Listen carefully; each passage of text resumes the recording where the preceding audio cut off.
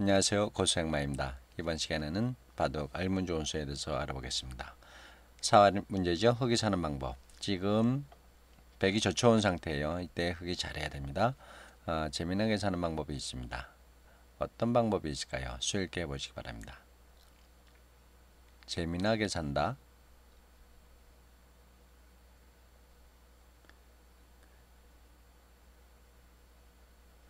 여기서 막는 수는요. 막는 수는 단수당하고 뭐 있든가 따든가 뭐 따도 별별 없지만 이어볼까요? 가만히 젖히면요.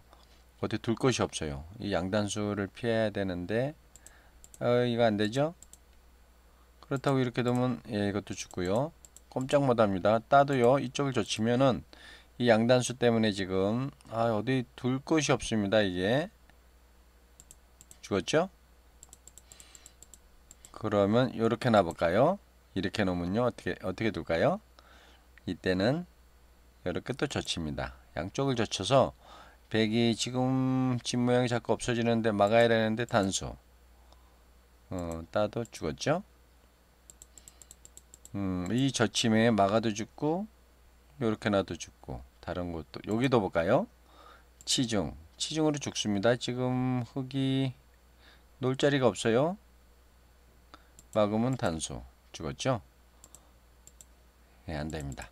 그러면은 흙이 재미나게 사는 방법 알아보겠습니다. 이렇게 젖혔을 때 흙이 이렇게 듭니다.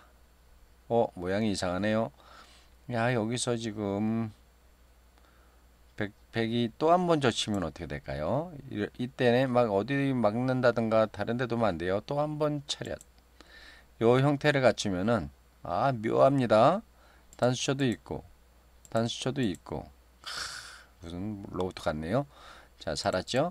그래서 관건은 1로 두고 100이 뭐 이런데 이거는 잡아서 안 되죠.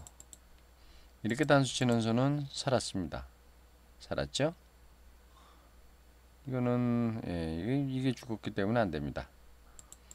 그래서 여기 젖혔을 때 또 한 번 이렇게 도는 수, 요 1, 3을 알면은 거기 사는 데는 지장이 없을 것입니다. 이렇게 해서 바둑 알문 좋은 수에 대해서 알아봤습니다. 그러면은 다음 시간까지 안녕히 계십시오. 감사합니다.